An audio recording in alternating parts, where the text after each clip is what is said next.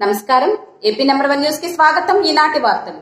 కొత్తగా ఏర్పాటు చేయబోయే పల్నాడు జిల్లాను పల్నాడు ప్రాంత పరిధిలో ఏర్పాటు చేయాలని డిమాండ్ చేస్తూ ఒకటి రెండు మూడు స్వచ్ఛ పాలిటిక్స్ అధినేత షేక్ బడేజాని ఆధ్వర్యంలో ఈ నెల పదమూడవ తేదీ శనివారం ఉదయం పది గంటలకు దాచేపల్లిలో రాష్ట్ర రహదారిని దిగ్బంధనం చేయాలని దాచేపల్లిలో మంగళవారం జరిగిన అఖిలపక్ష సమావేశంలో నిర్ణయించారు.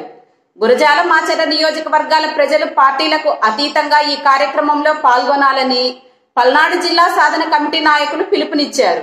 నరసరావుపేటలో జిల్లా కేంద్రం ఏర్పాటు చేయాలని జరుగుతున్న ప్రయత్నాలను తీవ్రంగా ఖండించారు. దశాబ్దాలుగా వెనుకపాటుతనానికి గురవుతున్న పల్నాడు న్యాయం జరగాలన్నా ప్రజలకు అందుబాటులో ఉండాలన్నా పల్నాడులోనే కొత్త జిల్లా కేంద్రం ఏర్పాటు చేయాలని డిమాండ్ చేశారు.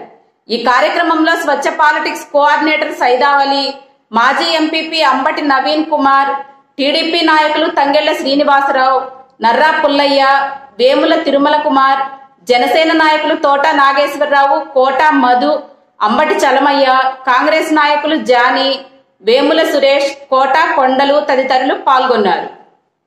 సాధిద్దాం సాధిద్దాం సాధిద్దాం ఏర్పాటు చేయాలి. ఏర్పాటు చేయాలి. గురిజాల డివిజన్ కేంద్రంగా. గురిజాల డివిజన్ కేంద్రంలోనే పల్నాడు జిల్లాని. ఏర్పాటు చేయాలి పల్నాడు జిల్లాను. ఏర్పాటు చేయాలి.